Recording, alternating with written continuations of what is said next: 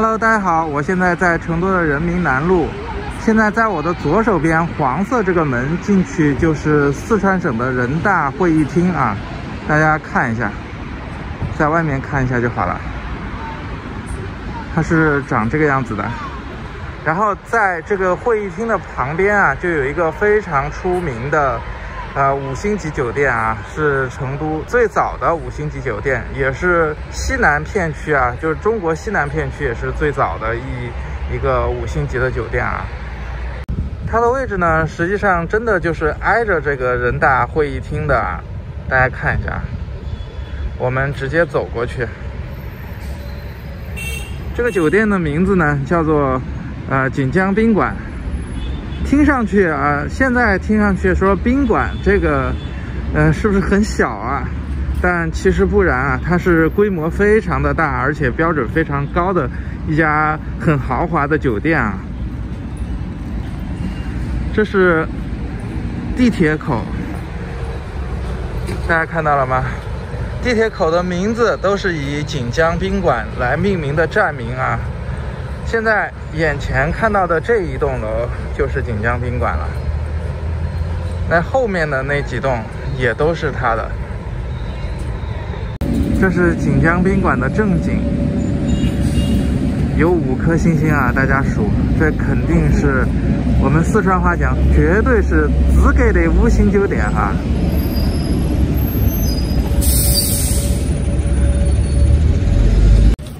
然后在锦江宾馆隔着一条人民南路过去对面啊，也是一个非常出名的酒店啊，它的名字叫做名山饭店。大家看，啊，这个饭店也是个五星级的饭店啊，但是大家听这名字感觉好像比那个呃锦江宾馆的名字要大气得多，对不对？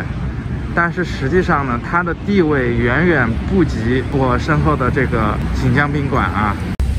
现目前啊，在成都其实有很多新的酒店啊，比它的设施要更好啊，要更豪华。但是呢，地位是肯定跟这个这个地方是比不了的。而且这个酒店牛到什么程度？它在旁边居然都还有一个专门的牌子，上面写了。我给大家简单的念一下啊，四川锦江宾馆始建于一九五八年，由朱德和陈毅两位老老帅亲自选定了锦江这一馆名，看到了吗？还是很有这个历史背景的啊。如果感兴趣的话，大家也可以直接在网上查，这应该也是有资料的。能够住锦江宾馆的人非富即贵，即贵啊！以前都是这样的，当然现在只要给钱都能进去住。当然，在现在二零二零年的成都看来啊，现在这个锦江宾馆的设施呢，其实是有一些老旧了啊。因为这个实际上大家看到的这个建筑啊，是二零零九年的时候，呃，重新新建的。但是外观看上去都还是有一些旧了嘛，毕竟现到现在也都十几年了，对吧？啊，但是里面的设施是真的豪华。呃，我今天呢，因为时间的关系啊，我就不进去给大家拍了，呃，只给大家拍一下门口就好了。啊，我今天主要是想过来带大家看一个非常神奇的面馆啊，我去吃面去。所以，跟着我的镜头看一下那个面馆到底有哪些神奇的地方。到了，咱就知道了。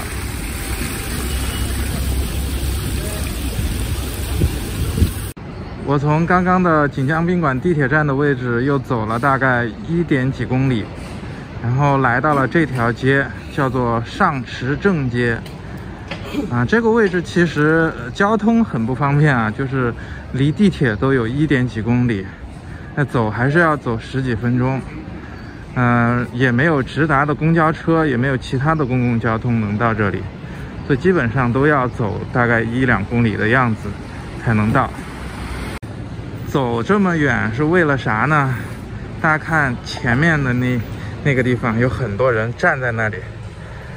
那个就是面馆所在地了。还有这位直接就在这里吃。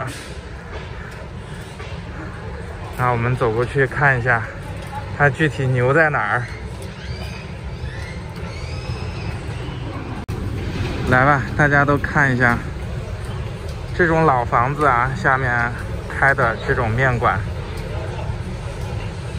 门口几乎没有桌子，啊，都是自己端个板凳，然后把面放在另外一个板凳上，直接就可以吃了啊。这种就直接是大马路的旁边，还有大马路的对面啊。这边这边坐不下了，这边坐不下了，然后都坐到这边来了。现在是中午的十二点四十多，所以也正是吃饭的时候啊。咱去点一碗最出名的，他那儿的面说是呃回锅肉啊，回锅肉面。然后咱们去看一下，啊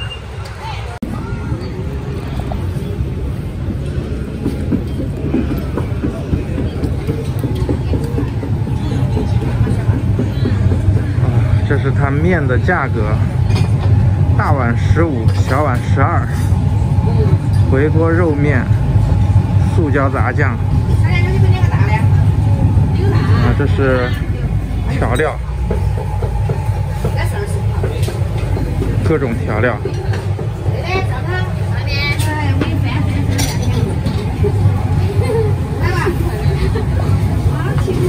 这碗回锅肉嘛，大的，十五吗？好，等一下，这是佐料和汤。啊，他们每天生意非常的好啊。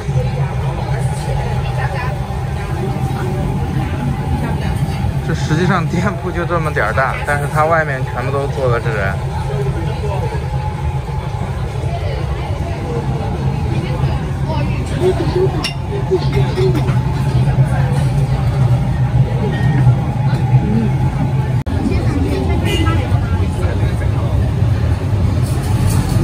来，我先去找个位置坐一下啊，看一下看一下这巷子。都弄一个凳子啊，就在就在前面，可能还要得占位置啊。现在这个点儿不是特别的吃饭的正点啊，如果是正点的话，这根本这儿也没位置的。来看一下，这洗碗的。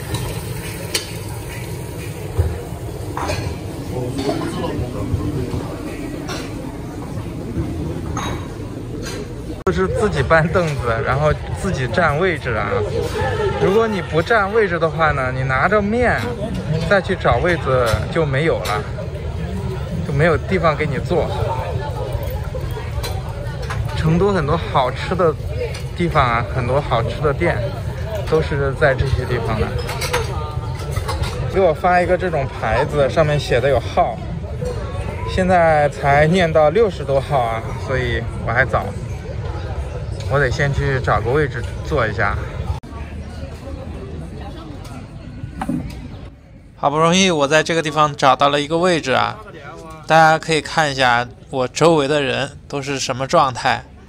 其实这里也不乏经常有一些人会开着车专门跑几十公里来吃这一口面，真的一点也不夸张啊！虽然他的面只卖一碗十五块，我这。大份儿到了！大家看一下，这里面全是肉。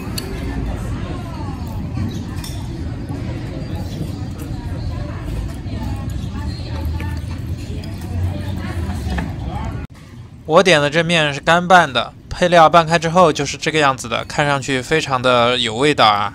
当然，你也可以让它做成有汤的，但是我觉得可能有汤的就没有这个这么好吃了吧。毕竟这就他们家招牌嘛。我们就吃他们家招牌原本该有的样子就好了。怎么说呢？我吃完给个评价吧。啊，它那里面料还是很足的啊。大家可以看到有很多那种呃大片大片的那种回锅肉，还是可以的。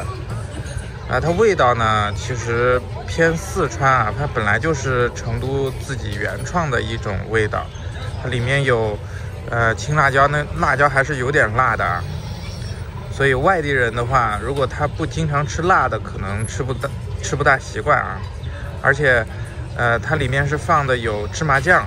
所以呢，呃，整体感觉还是比较香的。还有就是我为了吃这碗面啊，实际上从我领到那个九十一号的号牌之后开始算，那时间我大概是等了有三十八分钟，等的时间还是有点长啊。如果中午比较赶时间的，像上班族的那种的话，他一定要早一点来，否则的话晚了就吃完之后你上班就会迟到。像它这周围啊，这条街还是有其他的很多面馆，但是它生意呢就远不如那一家。怎么说呢？我反正是觉得这个地方就属于成都最正统的街头美食文化了。好了，那今天的视频就给大家拍到这儿吧，咱们下期见，拜拜。